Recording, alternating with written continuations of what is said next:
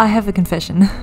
I haven't used toothpaste in three years, but I still have my teeth. I haven't scared away my friends with bad breath. I haven't got a six foot radius around me everywhere I go. In fact, my teeth have actually been much healthier since I stopped using toothpaste. Here's why I quit toothpaste. Most commercial toothpastes contain harmful ingredients like fluoride, glycerin, titanium dioxide, triclosan, and surfactants like sodium lauryl sulfate and sodium laureth sulfate. So rather than using these chemical filled toothpastes, I make my own tooth whitening powder using a range of natural ingredients specifically chosen for their antibacterial, antimicrobial, and stain removing properties. Bentonite clay helps to bind to and draw out heavy metals and toxins. Baking soda helps to remove stains.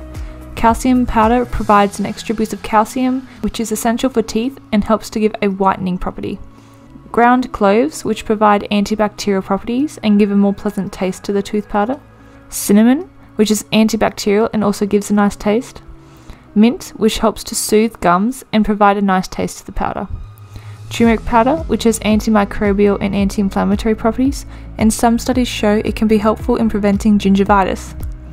Then we have activated charcoal, which attracts heavy metals and toxins to its porous surface, kind of like a magnet, and this allows them to pass straight through the body without being absorbed. However, fair warning, activated charcoal can be quite abrasive, so just use it with caution. The full recipe will be linked in the description below for you guys, but feel free to adjust the ingredients or add more ingredients to cater this tooth powder to your needs.